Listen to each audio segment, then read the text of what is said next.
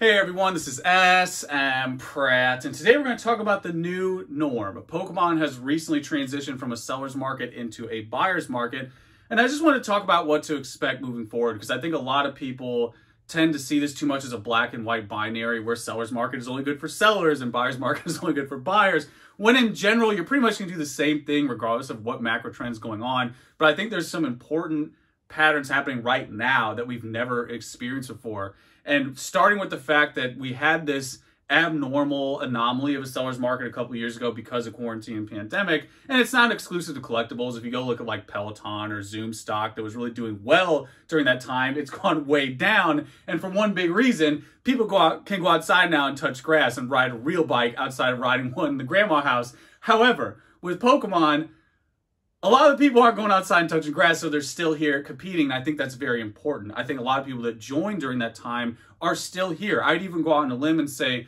more people in collectibles stuck around than did in a case of like Peloton and Zoom and things like that. So what that means for today, why you have such a quick transition from seller's market to buyer's market is because those people here now are competing and are optimizing pretty much everything that could be optimized. You know, the things we talk about all the time, record amount of cards being printed, more cards printed in the past two years than the first 10 years.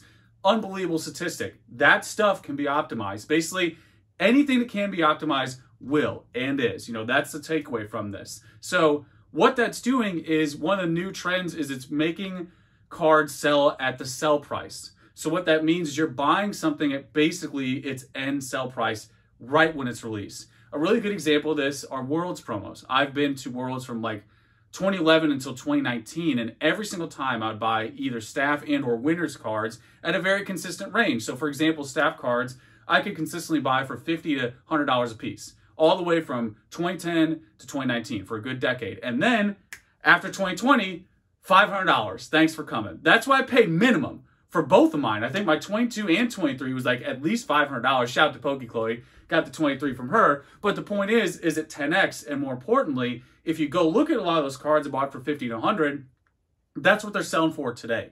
So they started at that price and then incrementally went up to the mid to high hundreds where these new promos are starting at the mid to high hundreds. And there's no room there you know for them to do anything. They're just immediately selling at the sell price. So that's what that idea means of selling at the sell prices you don't have this room of growth anymore. It's happening in light speed. And there's an interesting thing happening that you see with nagabas where you see this very quick example of like light speed go up but then something interesting it cooled off and went down. However, if you played the game, especially with the Umbreons, a couple of my Patreon members did this and sold those Umbreons quickly, you have this front end opportunity that didn't exist before. You know, going back to the Worlds promos, the other side of that coin is you couldn't really do anything if you bought it 50 to 100. It was just chilling. You had to really like it and be a weirdo like me who just adored the Worlds promos from the beginning, but they didn't really move that much. They just kind of chilled out for a while, incrementally grew over time. You're talking years on end, where this Nagaba stuff shot up within months. So if you bought it at release, you could have flipped it in those first couple months and made, you know, a decent return.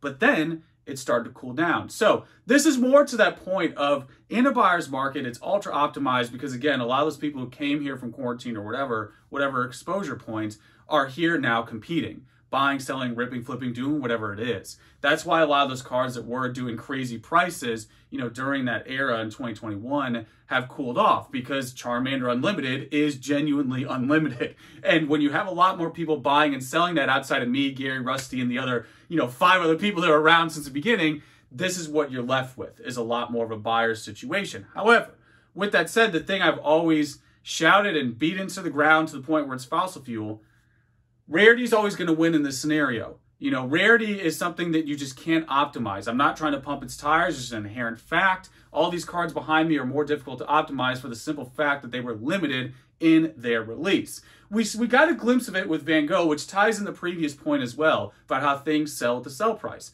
Van Gogh was more limited, and then we did have the, you know, it's bend the knee to the Pokemon Center that they gave us, you know, an opportunity to buy directly, but it was still limited in that moment of only being at the museum. And what did it do? It caused chaos. It wasn't a bright spot for Pokemon, but the takeaway is that was some type of limitation. That's why everybody was fiending for the card. It's this unique card. You throw a gray hat on Pikachu, everyone loses their mind. But more importantly, you make it a little bit exclusive. It has some type of exclusivity to it, becomes a challenge. It gets it increases the heart rate. Also, that sell price deal, it's selling immediately at what it would go for, you know, on eBay. You had that first, every time this happens, the first PSA 10 hits a premium, and then what, what, what goes on after that? Straight down. The more the pop increases, the lower the price goes. So this ties in again that idea of rarity. It's just simply a logical, objective reality that when you have something that's more difficult to optimize, whether it's in the form of conditional rarity, actual rarity, you know, a box that's very scarce, something like that, you know, this is something that all of us, whether the army of people that joined during quarantine, whoever it is, we just can't optimize it. Even me with all my, you know, no lifer badges in the grandma house and the, the decade plus I've had doing this, like there's no easy way to get like the rare stuff consistently. There's no way to do that. So that's why that K-shaped recovery that I talked about before is in full effect right now. And a lot of these cards, good news for buyers, are going to be like this for the foreseeable future. This is something that is not going to go away because the bottom line is everybody wants to make money in this. And I'm not saying this to villainize anyone. More power to people chasing a passion. There's people who just like doing this more than working at Amazon, more than working or whatever. You know, you definitely see it in the case like Van Gogh to a very like extreme, like a gross extreme where it's like you're making maybe $5 an hour hustling and grinding and like trampling people to flip your card for $50 or trampling people to flip your ETB for 20 bucks you see it to that extreme, but the takeaway from all of that, you know, even if it's like a gross scalper or, you know, just someone, you know, chasing a passion, is that passion. They'd rather do this type of thing than, you know, go work a, a nine to five or whatever. But the ultimate reality of that is everybody's competing and you are creating another scenario that we've never experienced before where it's just not possible to grade a lot of these raw cards and make money. That is something we have never experienced to this degree. I talked about it kind of a part one to this video about raw versus graded, you are experiencing that right now at a level that I cannot overstate. Like you can't go get Japanese hollows and grade them. You're, you're just handcuffed. There's nothing you could do. I would buy Japanese collections. I know you've all seen it. Anyone who's been to Yahoo Japan at least one time, those Japanese collections that show you like the first two beautiful binder pages, and after that it's a bunch of Pidgeys and Pokeballs. I would buy those things every single month, sometimes every single week. I'm not exaggerating. I would. I had a save search of Pokemon Mass I think is how it translated directly in Japanese English. I would search that every single day. I would buy collections from there almost weekly. It would be constant. I can't tell you the last time I bought one of those collections because it's not feasible. If you're doing it as a collector, more power to you. But if you're doing it try, as a business to try to make money, try to grade that stuff, it's not possible. You have a better chance, say, buying stuff already graded and just waiting, doing that like old thing of holding something over time and you know seeing if it, the market conditions change because right now majority of those japanese hollows are just there's no profit margin to grade them when a psa 7 to 9 is selling for 20 to 50 bucks or whatever it is there's no opportunity there unless you hit a 10 9 in some cases but 10 in most.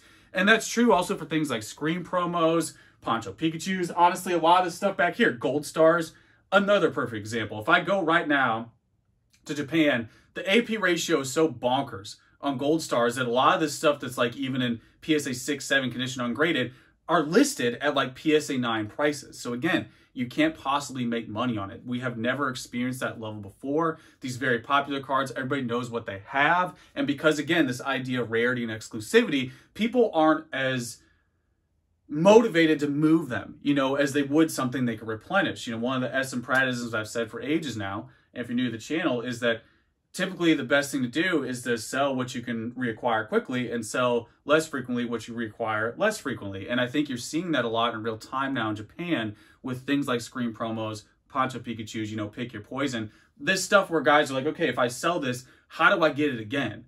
You know, to make money as a business. That's what you're always asking yourself. Where today, because everybody wants to do this, it's so ultra competitive that it's tightening the margins. It's tightening, you know, the rare cards. It's almost like a a split, that K-shaped thing again, where these rare cards, people are reluctant to sell them. And then the lower stuff, it's just like a, a bloodbath where you really can't make money anymore, you know, going from raw to graded. So that's another very interesting thing that's happening. And also with modern chase cards, because they are printed into oblivion, there are more modern cards printed today than at any point in time that can never be overstated. That needs to be printed out 72 font, bold italicized, right next to Posh Spice and David Beckham's purple wedding photo above your bed. Like that thing needs to be just laminated in front of you at all times. Like the amount of cards today are printed more than the first 10 years of Pokemon. It's unbelievable how many cards are printed. The takeaway from this is it's continuing this idea of ultra optimized competitiveness. That's why it's harder for these cards to continue their trajectory. It's because there's so many of them. They're all the time at Target. They're all the time online. They're all the time everywhere. Anybody can sell them and everybody does. That's why it's so difficult right now for the modern cards to continue their trajectory. Now, with that said, if you scroll back a couple other modern eras, you'll see that those cards are probably doing better because they don't have that insane quantity, because they don't have that immense volume pushing them down. Just like we talked about Van Gogh Pikachu. More pop, more quantity. What does it do to the price? goes like this. The higher the quantity, the price goes the opposite typically. And it'll probably plateau at a certain level. But with modern, the printers are literally going burr. Literally, right now as we speak, they're burning. like they're purring. They are going and it won't stop until Pokemon says, yeah, okay, we're done with this one. We're going to move on to the next. So the takeaway, if you're still with me, is that this idea of modern, you know, I think there's a lot of people in it today. And keep in mind, modern's at a great time. I've said now for a while that this is the golden era. Beautiful art. Everybody's enjoying it from a collecting perspective. But when you're thinking about it monetarily, it's a rough ride because you have this full circle thing happening where when I started out doing this almost two decades ago, there was no indicator of growth. It was a long-term risk. It was a big void of darkness. There was nothing there. You know, there was nothing there to indicate that the trophy cards or whatever big thing was I was buying back in the day for a fraction of the price now were going to go up at all. There were no say there was no sales data, there were no price charts, Instagram didn't exist people weren't talking into a camera from a grandma house. That stuff was not happening back then. So there was no indicator growth. Full circle today, with all the optimization, you're in a very similar position, I think, especially with car, modern cards now, where you're in uncharted territory where there's so much quantity, more than ever. So you're in this place where there isn't really an indicator of what's going to happen with this level of quantity, dependent on you know popularity continuing the way it is. Tying it back in the original point, about the ebb and flows of people, you know, adjusting when quarantine ended with Peloton, those type of things. You basically have to bank on popularity continuing at the pace it's at now, and then perhaps exceeding down the road, and or these cards somehow, you know, becoming more scarce, which is really tough again when you have a record amount of quantity out there. So, all these reasons are why we're in a buyer's market. And again, it's not a binary of, you know, you do only sellers markets only for sellers, buyers only for buyers. I've been doing the same general thing for almost two decades now. I've definitely adapted over time. You know, what I mentioned before about how I was buying Japanese, you know, collections all the time. Maybe now that adaptation looks more like graded cards, or maybe that goes into a different category. Maybe I go more into new boxes or something like that. The point is, though, you make these minor adjustments in these markets, but you're overall doing, you know, the same general thing. And I think that's the the takeaway I have from transitioning from a sellers to a buyers. I'm still going to be you know, selling every month. I'm still going to be buying every month. I'm basically still going to be doing that same general thing, not touching enough grass. You know, I'm still going to be doing all that. But there are definitely new patterns here and new hurdles that you have to adapt to while still doing that same general thing, if that makes sense. And then the last thing to just reiterate here, any card that can be optimized will.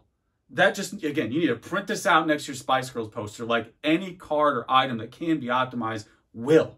There's never been a time where more people are trying to do this for a living. And again, it's not villainizing anyone, it's people chasing a passion, but you got to keep in mind more people doing that, more competition. Therefore, anything that can be optimized will. The only saving grace is some type of difficulty. That's why you see people swarm and trample each other for like a Van Gogh Pikachu. It's kind of reminiscent of like the 90s Furby Tickle Me Elmo stuff. We're getting that vibe again because that had some exclusivity at the time. You know, we're dealing with that, but there's a lot of cards now. You know, this stuff behind me ranges from old back to new back to like, you know, trophies to prize cards to event cards to, you know, poncho cards. There's a nice variety in Pokemon. I think that's what makes it so rewarding at the end of the day of being engaged. Because even when things transition from sellers to buyers, there's always something going on. There's always some new trend emerging, you know, and that's what I have. Those are the ones that I notice. As usual, you know deal in midfield. Tell me what you think about some of these ideas if you notice them yourself. But that's pretty much it, guys. Till next time.